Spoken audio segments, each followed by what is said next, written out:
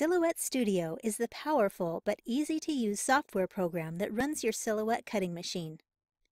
Once you have Silhouette Studio downloaded and installed, which can be found on the Silhouette America website, and have logged in with your Silhouette account, then you're ready to start creating designs and sending them to your Silhouette. You'll find drawing tools on the left, general document tools along the top, navigation tabs on the top right, and Studio tools along the right. When Silhouette Studio first opens, you'll see the workspace, which is where you create all your designs. Anything on the page here in the center can be cut, and anything outside of the page border will not cut. Your page size, and therefore cut area, is determined by your connected machine and the dimensions you have input into the Page Setup panel. We'll go over the page setup panel in more detail in another tutorial. I'm using the Silhouette Cameo, so I've got a 12 inch by 12 inch area to work with. You have a few options for designing in Silhouette Studio. One of the easiest ways to start is with ready-made designs you can purchase in the Silhouette Design Store, along with pre-loaded designs that come with your Silhouette.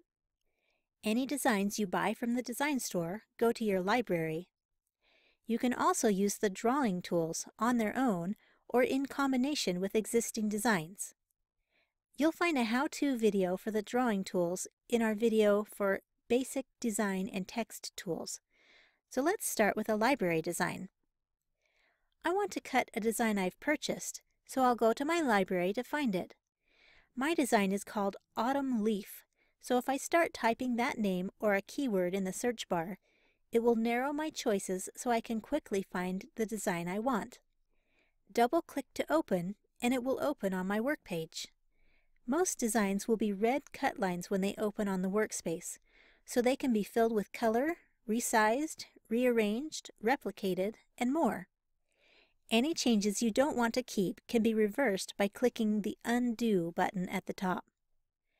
This design has a centerpiece grouped with it, so if I want to cut that from a different color, I can ungroup it, then save it off to the side for a separate cut job once I'm done with the leaf.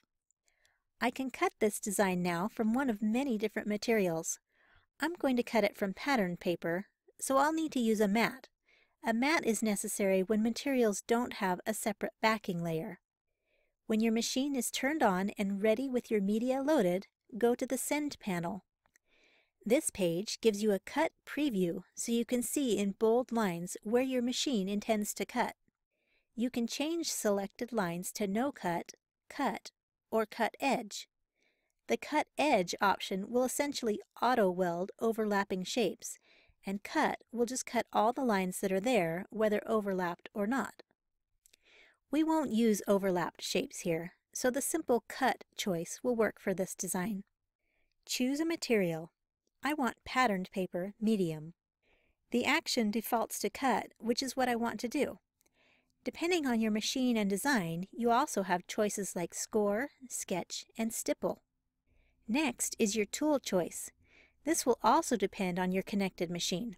I'm using a Cameo 3, and I want to use my auto blade so it will adjust automatically based on the settings selected on this page. If I were using a ratchet blade, I would need to physically adjust the blade depth to the number setting shown here. If you want to adjust the cut settings, you can change them here. But these pattern paper settings are fine, so I'm ready to cut. My paper is on my mat, my mat is loaded into my silhouette machine, and my blade is inserted and locked into place in the blade carriage. Now I can click Send, and my machine will begin the cut job. That's all there is to it. You can cut so many things with these simple steps. Open or create a design, load your media, and send to cut. Be sure to watch our other tutorials on how to use the specific features in Silhouette Studio version 4.1, along with how-to videos on various Silhouette media, tools, and machines.